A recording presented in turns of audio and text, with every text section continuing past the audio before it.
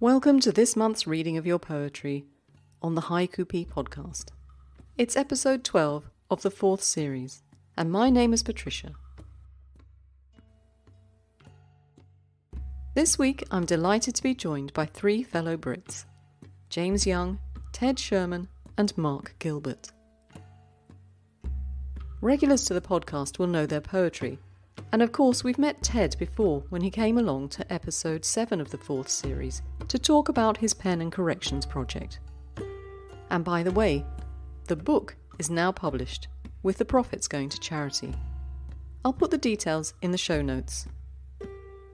And we know Mark too, because he came along in Series 2, Episode 17, to introduce us to Huku.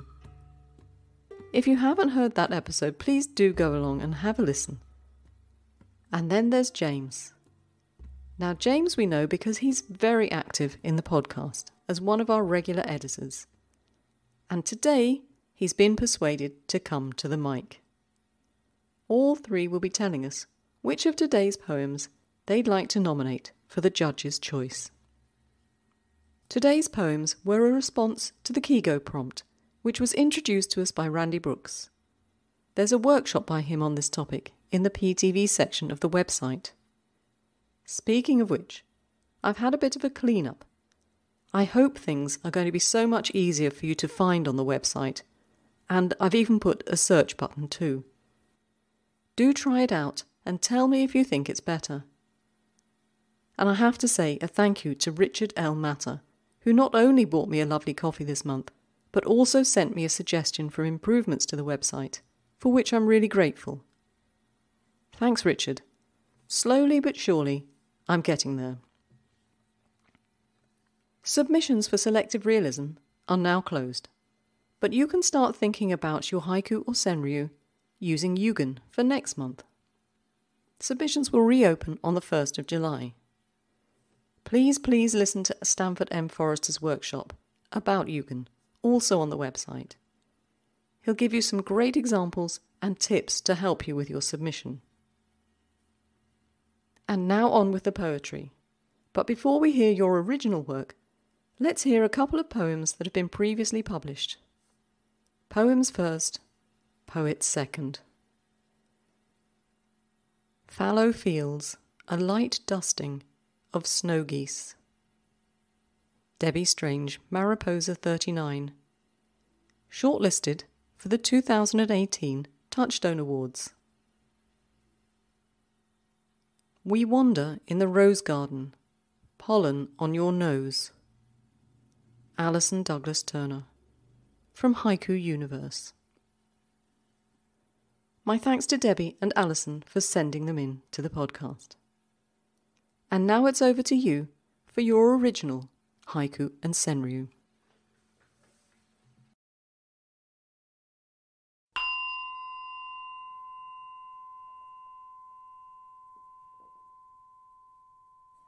Let's start today's poetry with Ted Sherman's nomination for the Judge's Choice. Hi, Ted. How's it going with the publication of your haiku book from the Pen and Corrections Project? Hi, Patricia. Um, yeah, it's going well. The fundraising campaign has closed now, and everyone who has ordered a book should be receiving them in the post in the next couple of days, I think. Wonderful. And um, can people still buy books, or have you run out? No, we've got some left. So if, if they contact me via book at penandcorrections.com, they can still order copies.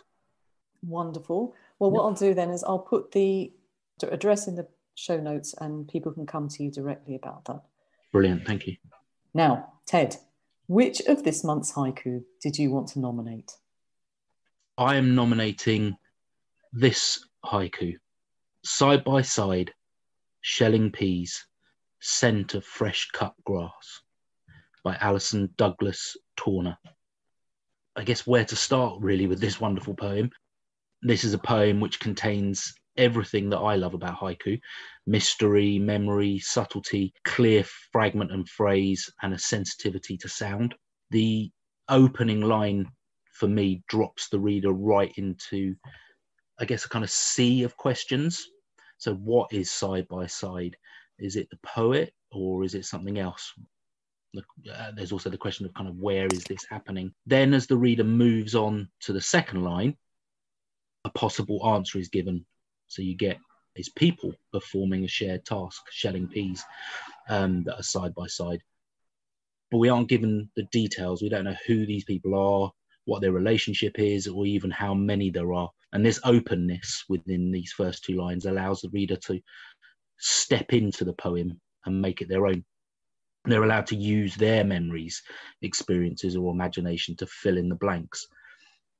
For me, this is two people me and my mother sat popping out peas into a, a Tupperware bowl um, with all the shells around our feet.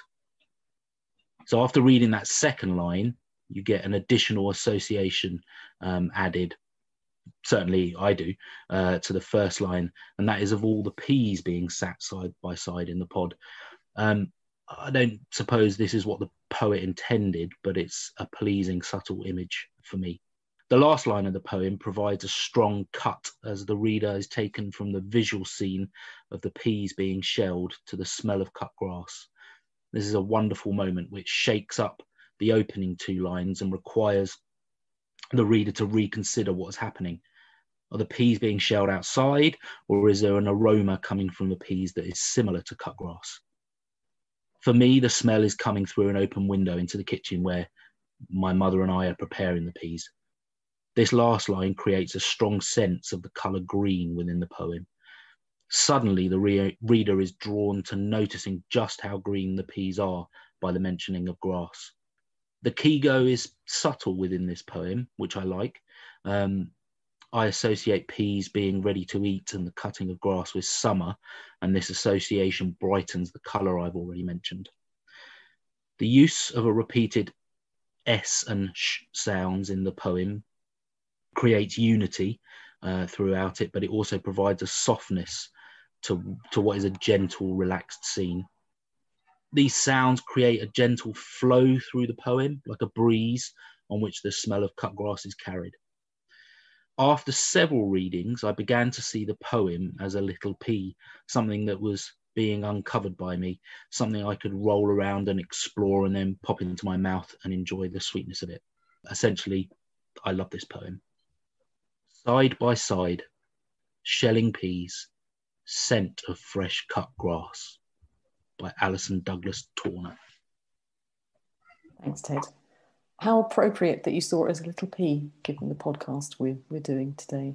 Isn't it? yeah, it is. I loved it too. And I said, just like you, when I read the poem, I was transported back to my childhood.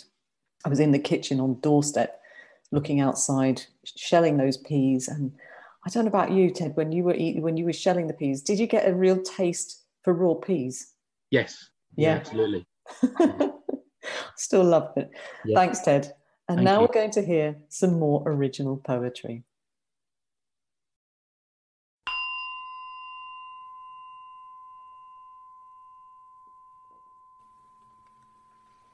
Dusk, the white yucca flowers, highlighted by fireflies. Christine Wenck Harrison. Million suns, fields of mustard flowers in chill wind. Neera Kashyap.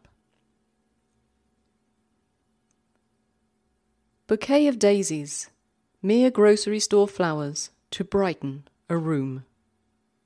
Shana F. Brewer. Wind chimes the vibrant colour of tulips. Laura Driscoll.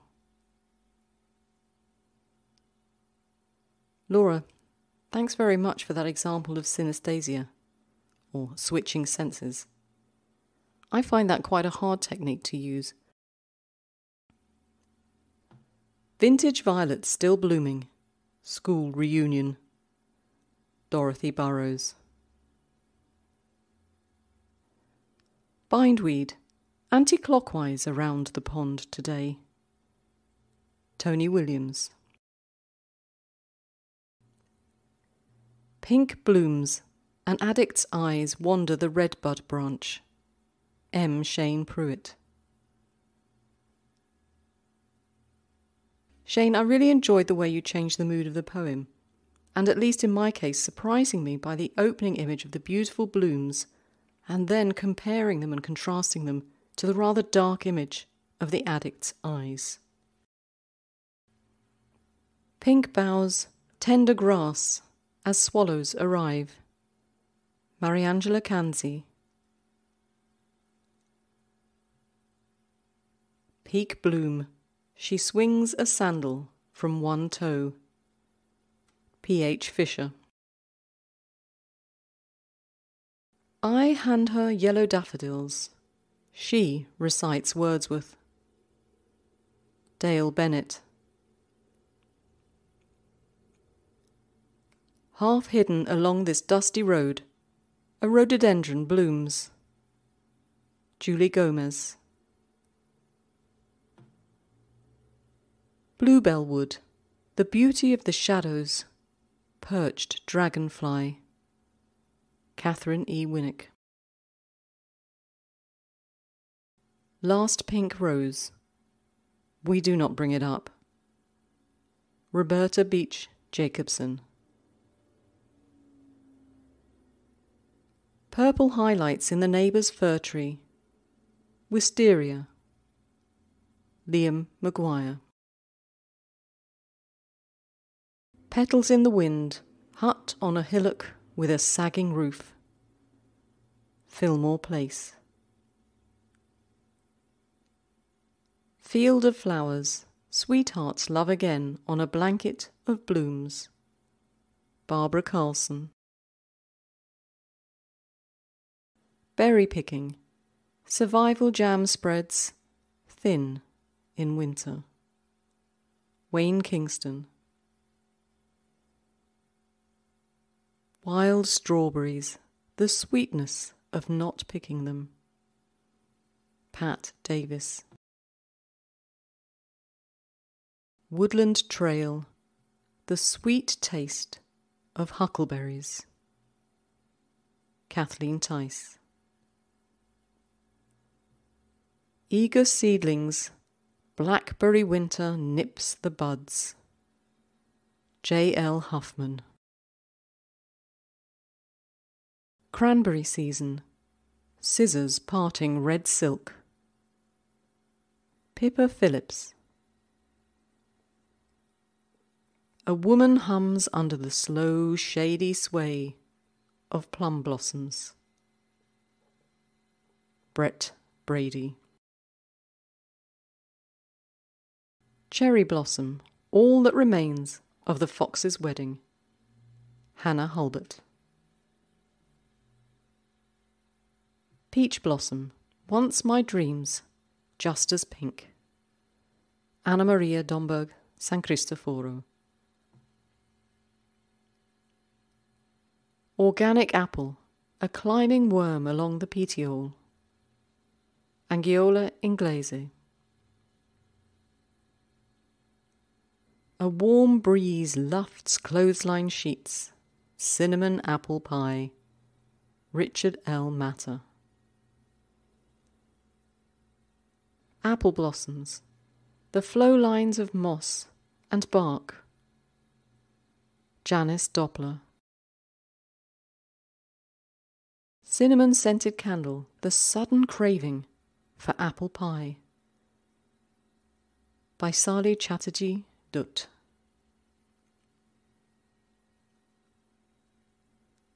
Leftover apples, the life we have together, crumbles.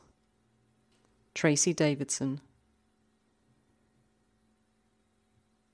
Summer shadows, the colour of ripe plum. J. Friedenberg. Tropical sky in my glass. A persimmon peel swirls. Laughing waters. Pomegranate. Crackling of embers in the fireplace. Daniela Misso. Monsoon memory on palm and mango trees Thick Dust. Krista Pandy. Waxing moon on the branches, unripe mangoes. Joe Sebastian. Out of season, I am still ordering mangoes online. Minal Sarosh. Sneaking a peek through the screen door, the smell of raw mangoes. Zara Mugis.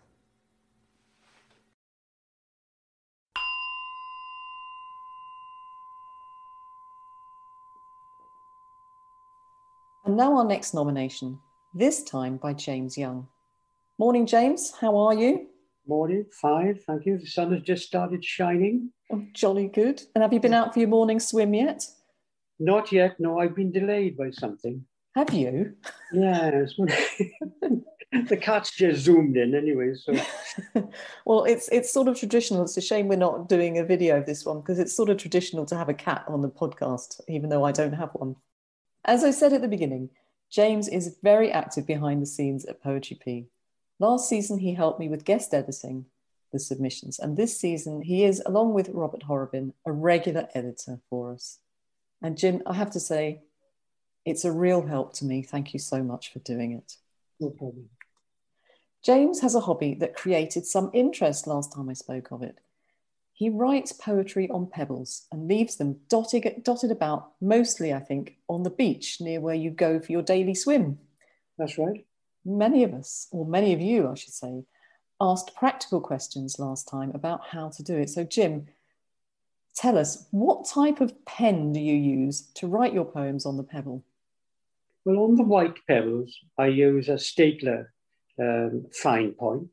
And for the black pebbles, which are very nice, I use a, a similar pen, but it's a paint pen with a, a, nib of the size that will, will fit a pebble. And um, you've got to shake it a bit, but once it's on there, it's kind of permanent. Until the sea over time decides differently. But they are taken home by people who put them on the sideboard. And I think that's really nice. I know. I was going to ask you, what details do you put on the on the pebble? Because you on get the, messages from people, don't you? Yes, on the reverse side, if there's space, I put um, my email address. I put my name, Jim Young, June 2021, and then I put my email address, and if there's space, I put my Twitter handle.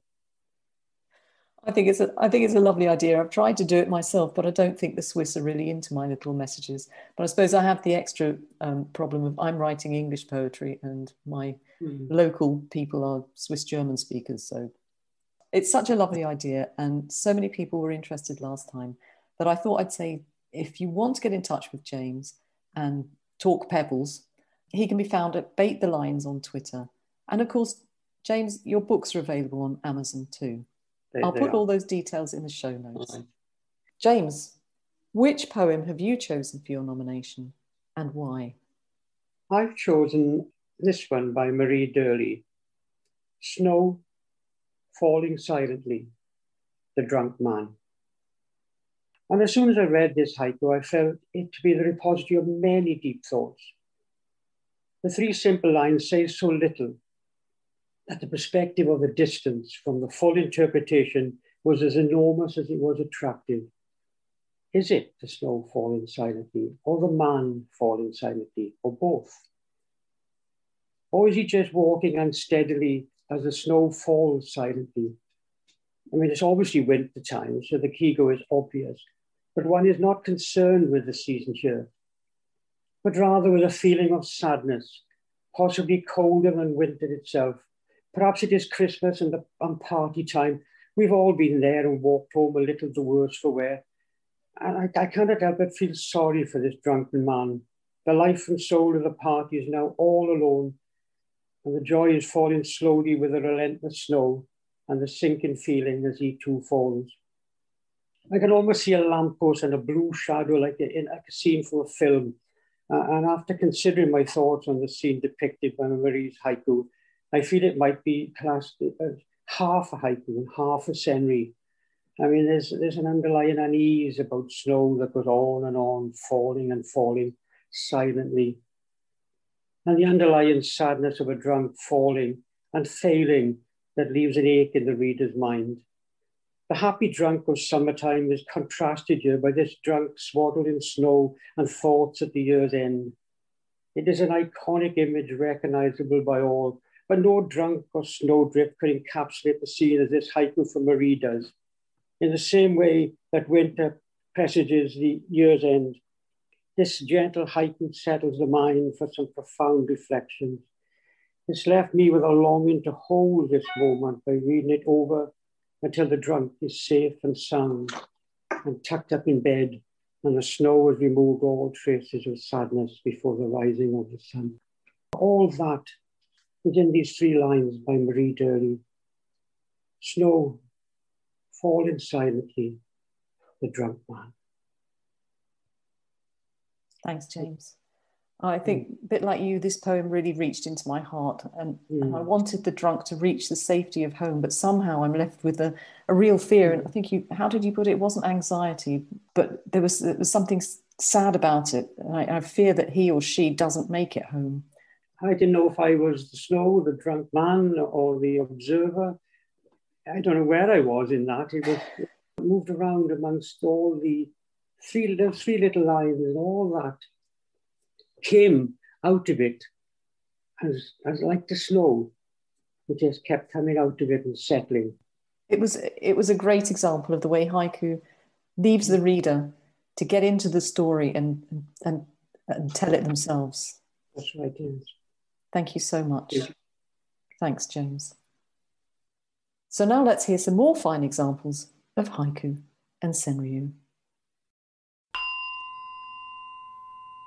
Hidden deep in fallen snow, more snow.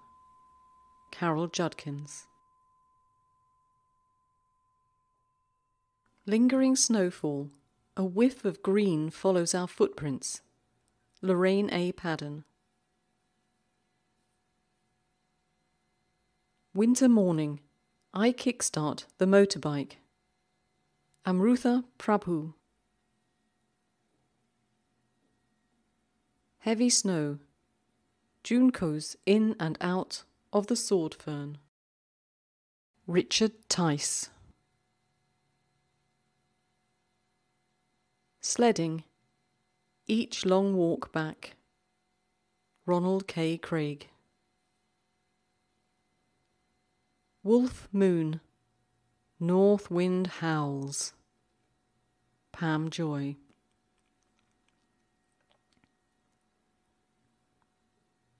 Silence. Icicles encase the wind chimes. Valentina Rinaldi Adams. Dead of Winter. Duvet Deployment. Three Layer Night. Richard Bailey. Winter Rain. Old Buskers Out of Tune Guitar. Sherry Grant. There's no point to icicles in springtime. Mark Farrar. Glimpsing infinity, in the swallow's lazy eight, a cloud of insects. Robert Horrobin. Fledgling's first leap, floating on a breeze, morning birdsong. Kim Russell. Sun warmed shadows, the hue and cry of fledglings. Craig Kittner. Clumsy flight, quieter and quieter in the blackbird's nest. Yislov Karlinsky. First light, the goldfinch hangs from a cherry blossom. Bruce H. Feingold.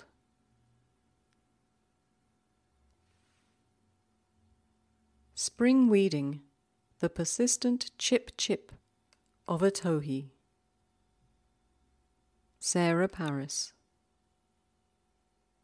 Cherry tree branch, two doves Poise for the Day. Richa Sharma. Roman ruins, each marble column crowned by a stork's nest. Michael Dudley. A swan's feather, all that remains of migratory birds. Isabella Kramer. White feathers in a thawing bird bath. Fishbone cloud. Hifsa Ashraf. Tundra. Swans land in the blank field. Dorothy Mahoney. Morning ritual. I mimic koel, mimics me. Vandana Parashar. Cuckoo call. Copper beech turning from pink to purple. Mike Gallagher. At the old pond, high overhead, the sound of cranes. Paul Engel. Paul, I found your choice of cranes an interesting one. Cranes, the birds, yes, I understand, but I can't help but visualize this piece as a comment on urbanization. Cranes, in this instance, being the construction crane. Around here where I live, I start to see them at the beginning of spring.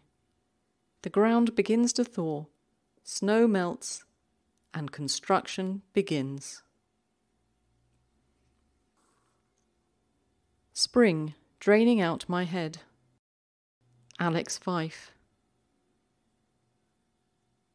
Longer days lift my mood, spring in my step. Karen Harvey. Leaves in the village pond. A frog creates ripples in the stillness. C.X. Turner. Tadpole in the clear water's edge, becoming a froglet. Christina Chin. Winter's End, from the upturned wheelbarrow, a curling tabby tail. Ted Sherman. Ponies, their first time on grass, bouncing, bouncing. James Young. What I like about this one is the way James has repeated the word bouncing in the final line. It feels like an onomatopoeic word, and of course, I think it's a play on the idea of spring. Bouncing, spring. And in this case, it reinforces the spring Kigo.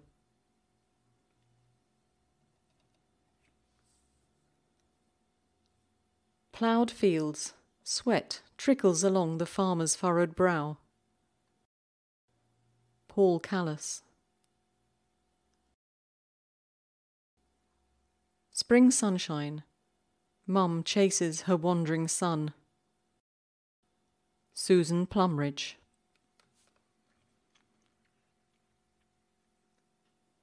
Spring rain, the fly waiting under the hat of the garden dwarf. Maya Daneva. Maya, this really made me smile. I think most of us can connect with the idea of spring rain and finding shelter where we can. And in this poem, you give us a poem that could really be in next month's podcast on selective realism. You've really homed in on a small detail on your garden gnome. And it's really amusing, isn't it?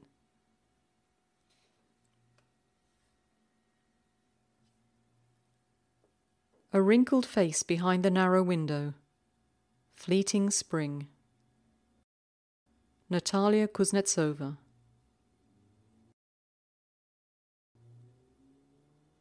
Maple ribbons swirl red, white, and blue, uniting kingdoms. Richard Downs.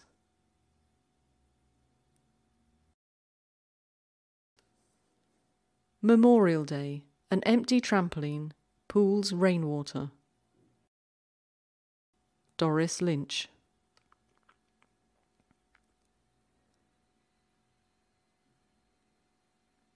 Memorial Park, the mating call of a cicada.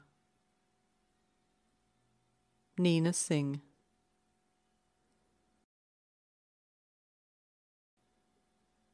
Letting go and moving on, waning blossom moon. Angela Terry.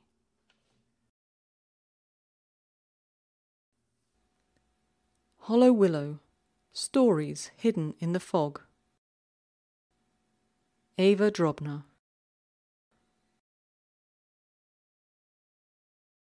Now, let me take a little bit of time out just to say thank you. Last month, May, I had a lot to be grateful for. I received some wonderful books of haiku. Stanford M. Forrester sent me a selection of his haiku works, and I can really recommend them. I especially love the special press book Staten Island, written about his everyday goings on and life on the island. It felt really personal, and yet I could identify with so many of his poems. Debbie Strange sent me a copy of A New Resonance 12. I feel so lucky to have a wonderful book like this, with a dedication written by Debbie in her own fair hand. Thanks, Debbie. It's very special. Congratulations to you and many of our friends who are featured in this book. And last but not least, Maeve O'Sullivan sent me a copy of her new book, Wasp on the Prayer Flag. It's published by Alba. Some of her haiku brought tears to my eyes as they reminded me of my summer holidays in Ireland. I felt very homesick and a great longing to get back there. But as we all know, it's going to take time for that to happen. But in the meantime, I have your book to remind me, Maeve. Thank you very much. And next month, Maeve's coming along to give us a reading. I'm looking forward to that. Let's hope there are no tears. A big thank you to my coffee patrons, who in May helped me to pay for my SoundCloud subscription. Thank you to Linda L. Ludwig, Jason Furtak, Richard L. Matta, Eve Castle, Alison Douglas Turner, Pam Joy, Mariangela Canzi, Marilyn Ashbaugh, and Nira Kashup. I'm so grateful to you for helping me to keep the podcast going. I know not everyone can afford a coffee, but if you can, there's a button on the website that allows you to donate. No pressure. Now, on with the poetry. Evening downpour, the linden tree fragrance, all alone. Samo Kreutz. Tiny butterflies, a garden chase full of children's laughter. B.A. France. Football practice on green grass under bright lights. Long nights ahead. Rob McKinnon. The cut of a coyote call. Summer grasses. Marilyn Ashbell. Summer night sky, a star so close to the waning moon. Lakshmi Iyer. Young love watching the sandcastle crumble. Eugenius Zakarski. Double rainbow. I give myself one more happy ending. Bona M. Santos. Summer night rain, she combs her long hair again and again. Milan Rajkumar.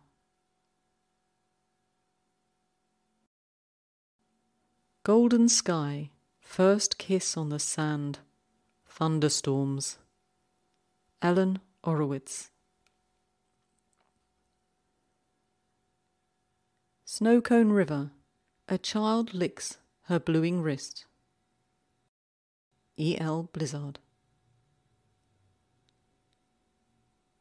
Mojito, muddled and iced. Young woman with a twist. Linda L. Ludwig.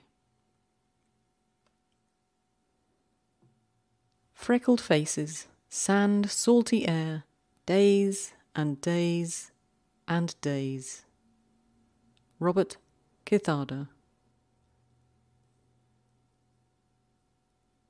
Strawberry kisses and cream mustachios taste the sun. E. L. Forrest. Her absence, all the fireflies bottled up.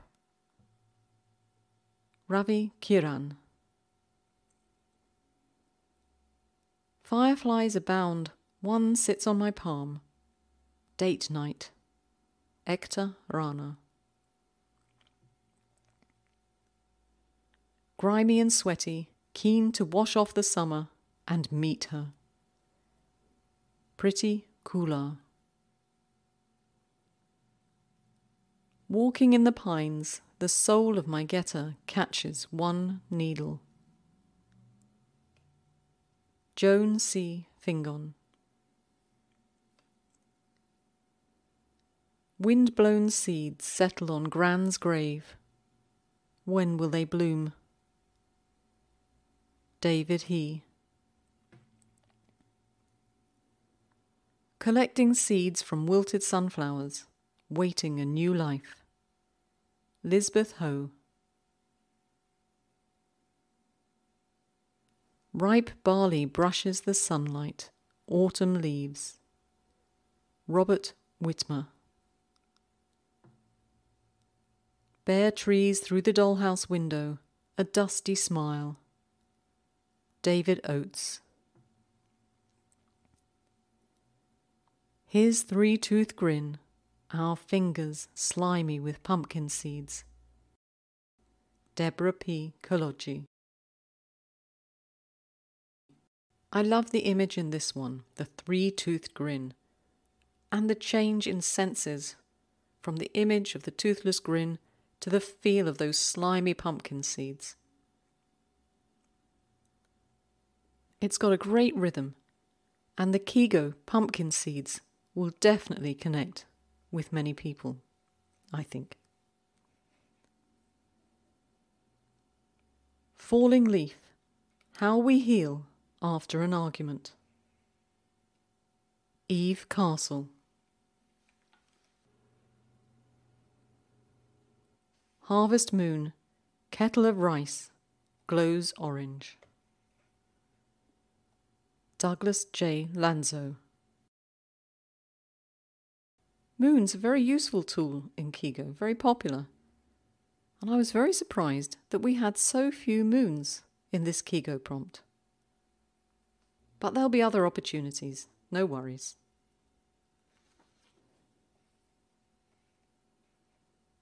Fallen Witness Tree, the winds of October have no borders. Bill Fay. November night, a kite rides out the storm on a tree branch. Srinivas S. Monarch migration, the unexpected tremor of my lips. Debbie Strange. Monsoon showers, he learns to write in italics. Anjali Warhadpande. First monsoon rain, this sudden urge to whistle in the dark. Kanchan Chatterjee.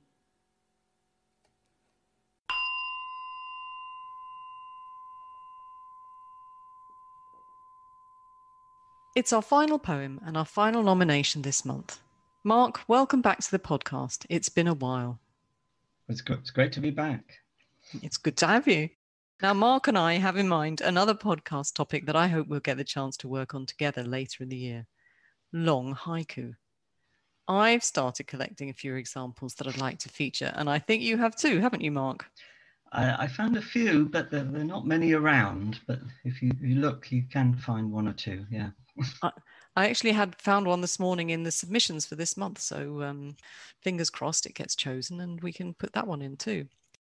So, Mark, which poem caught your attention as your nomination, and why? Well, the one I chose was Fingers swirling through the button basket, late autumn rain uh, by Mimi Ahern. And, and what I like about this one is the way it works on various levels, all of which kind of fit together. So first, I think I get the sounds. Fingers swirling through the button basket is a lovely image. And I can just hear the shimmer of those plastic buttons as someone searches through them, looking for the right color and shape. Meanwhile, there is a different kind of shimmer, an echo of that sound, perhaps, at the window, caused by late autumn rain.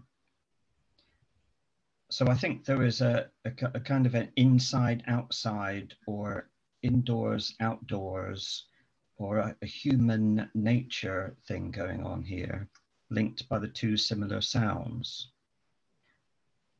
But I also like the sounds and rhythms, perhaps the euphony in the words themselves.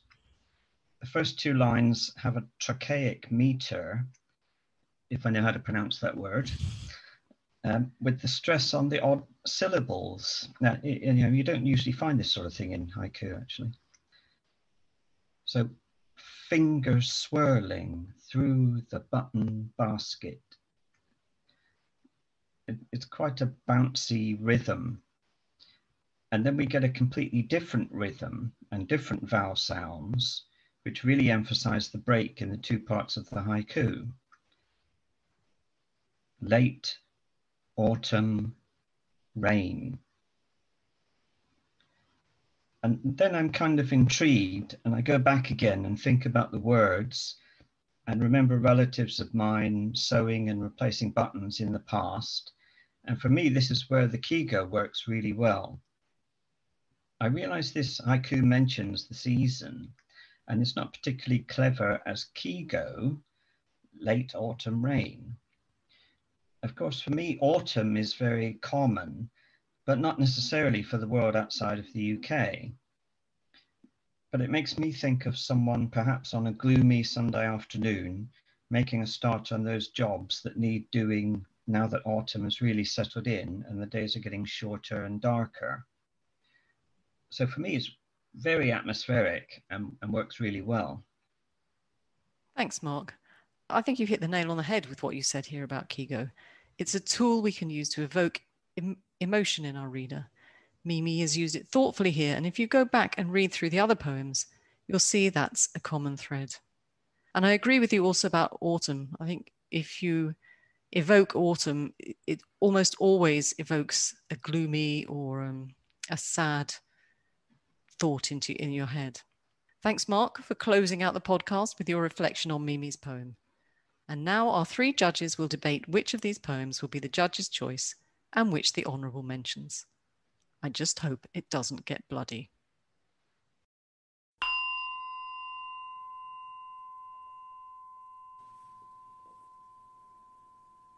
Thank you to my lovely judges for taking the time to read the submissions, make their choices, and write their commentaries, which will be in the Summer Journal, scheduled for September. And that's it for this week. I've got a few little reminders and a request for you. If you do have a bit of time, could you go and test out the changes on the website?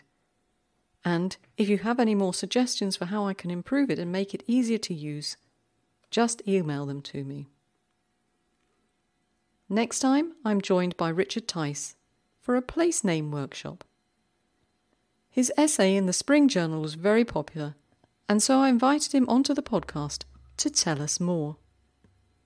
And as I said, Maeve O'Sullivan will be coming along to join me with a reading from her book, Wasp on the Prayer Flag. Don't forget, the next submission period runs from the 1st to the 20th of July. You can write any haiku you like using Yugen. Check out the website for the YouTube and podcast workshops from Stanford M. Forrester, which will help you. Thanks, as always, for your submissions and for coming along and joining me today. I'll see you soon, but until then, keep writing. Now, I really hope I've got everything right, but if I haven't or I've left something out, just let me know by email and I'll make sure to correct my mistakes. Ciao!